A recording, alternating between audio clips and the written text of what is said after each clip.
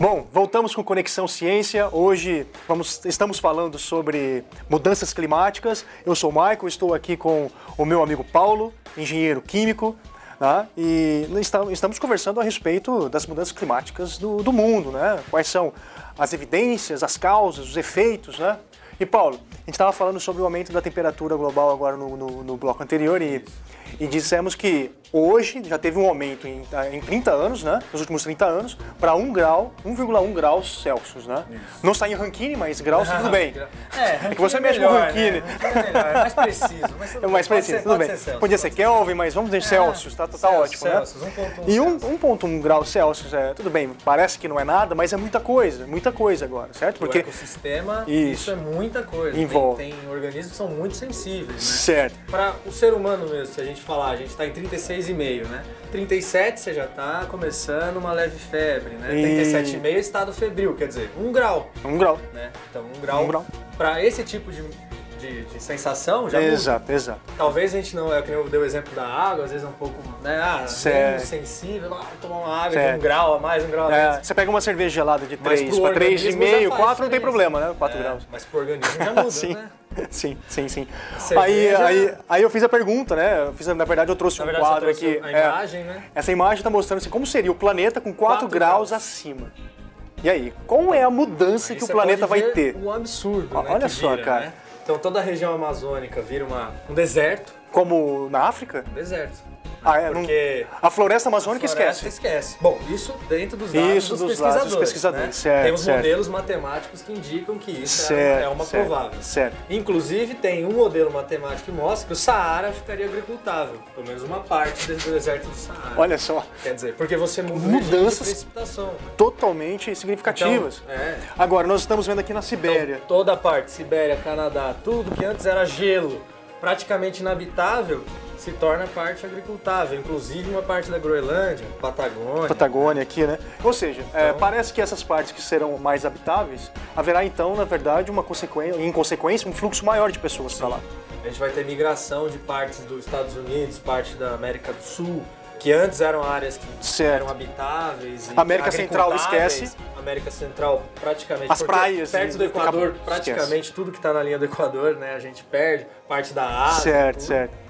Então a gente teria um fluxo grande, desde a parte de agricultura, de geração de energia, da Não. própria vida humana, tudo mudaria. Né? A Nova Zelândia aqui parece que está muito bonita aqui também, como né? É. Como é totalmente inabitável. É. Ótimo, ótimo.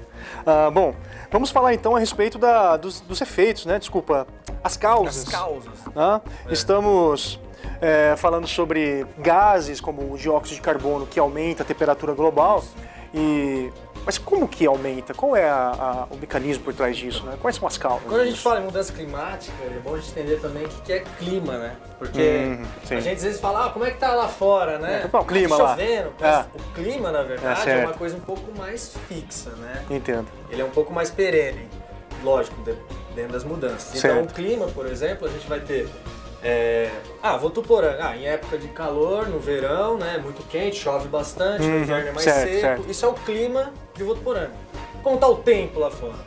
Aí o Não. tempo sim, ah, hoje tá chovendo, né? Não. É o tempo naquele momento. Certo, certo, certo. Então o clima nada mais é do que uma média de todo esse tempo. Então a gente Certo. define o clima em Votuporanga pela média do tempo que, a gente, que o dia apresenta. Então quando a gente fala em mundo, o que, que é? É uma média do clima mundial. É, Falando em nível, exatamente, nível global. Então a nível gente global. pegaria desde o gelo lá, menos 50 na ponta, até os 50 do deserto no meio. Faz Isso. essa média, a gente tem o clima, a média do clima. na Que a Terra. média da temperatura da Terra é aproximadamente 13 graus, é isso? Isso, 13, 13, graus. que 14 eles- graus. Que é, é a, a média perfeita aí pra vida humana. É a chamada, estamos na, na chamada região, é, é, Lodz- como que é? Você, você lembra o nome? Godlock. Godlock Zone. Zona de Godlock. Godlock Zones, Isso, é a Godlock área Zones. perfeita. Área perfeita, exatamente. É o nome Porque se a gente mas- pega, já pensando já nessa parte de efeito estufa e Hum. de dióxido de carbono, né?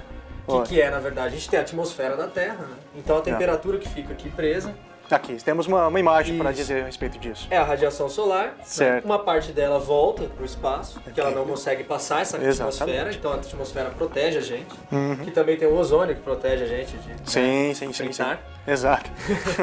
Basicamente. Consegue absorver a radiação Isso, ultravioleta, consegue. né? Isso, Que ela é são as prejudicial. nocivas, As né? nocivas. E aí a gente tem um aquecimento da, da calota terrestre. E, essa, e esse aquecimento, uma parte volta.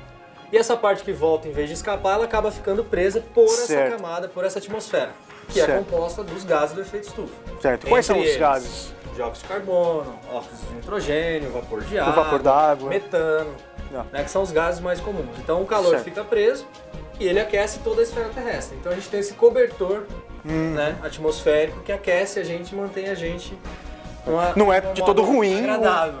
É, o não efeito é. estufa é ótimo. O efeito estufa é ótimo, É o que- É o exatamente. que, permite a gente ter essa vida. Exatamente. Por exemplo, em Ah. Vênus, né? Ah. Aí a gente já tem uma atmosfera super, Oh. além de agressiva, pelos gases serem diferentes. Exato. tudo. É que a maior composição da atmosfera de Vênus é dióxido de carbono, Isso. certo? Sua Só maior que composição. ela é um cobertor tão grosso, tão grosso, Muito denso. lá a temperatura média da superfície é 450 graus. É, eu acho que é bem parecido com o Votuporanga, quase. Pra- tá perto, Vênus, Votuporanga, mas com Exato, é, eu Então acho que tá ali dá na- pra tomar um, linha. tomar um bronzeado lá, né? E aí a gente tem Marte, né? Certo. Que já tá Marte. na frente da Terra em termos de distância solar, né? Estamos aqui em Marte. E aí a gente tá É, em Marte aí, ó, nossa, na imagem da sonda, né? Exato, da 2014, Curiosity. Curiosity. Exato. Então essas. E aí em Marte, vê, o cobertor já é fino demais, já é quase um lençolzinho. É.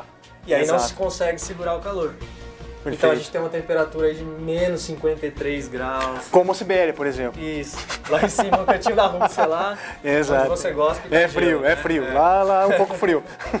Então, assim, Certo. você vê que, na verdade, a gente está no momento certo, na distância certa do Sol, um cobertor Uhum. ideal que protege a gente, mantém a gente aquecido. Ideal por enquanto, né? Então, Por enquanto. Por enquanto. Que Ah. aí a gente entra no, na causa da mudança climática, que é Exatamente. o aquecimento global. O aquecimento Exatamente. global é uma das mudanças climáticas. Uma das mudanças, exatamente. Quando porque a gente fala em mudança climática, né, então a gente já definiu o clima, que é essa média global. Certo, certo. Mas na verdade não é só a média global da temperatura, é a média global de todos os eventos. Então, umidade, pressão atmosférica, Exatamente. É, Nível do- nível do mar. nível do mar. Então é todos esses eventos. Então quando a gente começa a ter essas alterações que a gente falou antes, das evidências, tudo, a gente tem as evidências de que algo está mudando. Então são as Exato. mudanças climáticas.